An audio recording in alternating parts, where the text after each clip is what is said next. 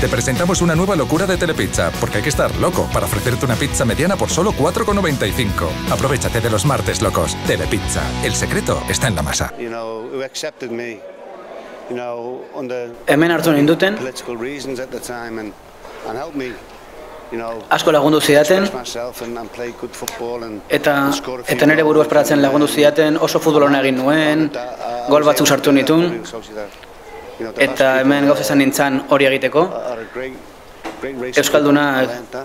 eh, herri handia dira. Eta oso ondo pasa nuen hemen eman dituen sensaciones que has bi tenido, denboraldietan. que has sentido Al, volver en el regreso. Zaila da, baina oso ondo, hemen donostian egongo naiz, 24 horas.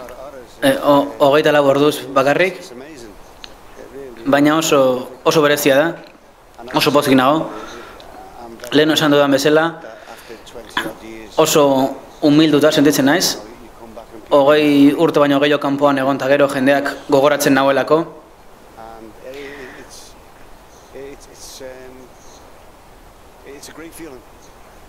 eta sentimendu ona da, zaila da niretzako espresatzea esan nahi duena, baina orain hemen egun metro ibili, eta jendeak, jendeak gelditu eta espero dut eh, taldeari suertea ekartzea, partidu garrantzitsua da realarentzako, Espanyol, eh, Espaino, Espainol realaren genetik dagoelako selkapenean, eta espero dut reala irabasteko gauza izango dela. Eta ona izango da niretzako haiek irabazten ikustea. Ez ez, atotxa berezia da,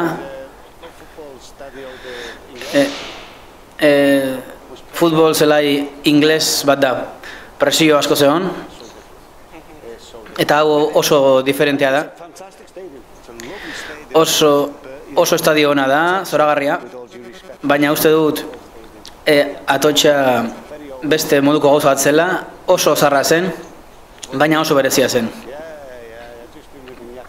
Now, and uh, yeah, yeah, I had some some very good footballers when I played for Sociedad. Some uh, Right. we became very very good friends, and, and again, it, it's difficult for, for anyone, you know, at any given age.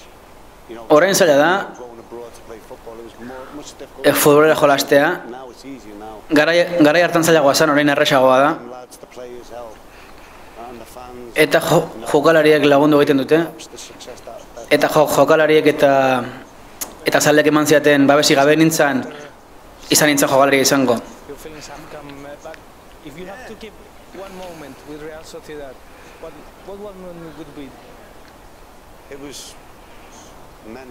Momentu asko izan ziren, baina bat aukeratzekotan Bartzelonak liga irazi zuenean, 91, mila bederatzeron dolaro hogeita maikan, Bartzelonak irazi zuen liga,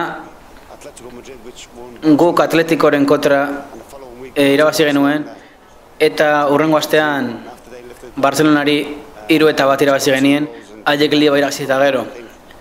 Nik bat egin, nik gol egin nituen eta Atkinsonek bat, eta Camp Nou oso, fut, oso futbol zelai berezia da, mundu guztian ezaguna, Barcelona, eta garrantzitsua izan zen Realarentzako area joan eta Bartzelona garaitzea. Yeah, he's, you know, it, with any manager, it takes time. You know, Edo zein entrenatzerentzako denbora behar da, bereziki beste herrialde batera zoazenean, baina Moiesek han egin duen oso garrantzitsua da, ni hiru hamar urtez bizi zen naiz get used e, eta denbora bat beharko du e, hemen gauzetara goitzeko, beste liga bat delako, gauzak oso diferenteak dira hemen eta ingalaterran, baina denbora ematen bali mazaio, seguru nago gauzak ondo zaizkiola.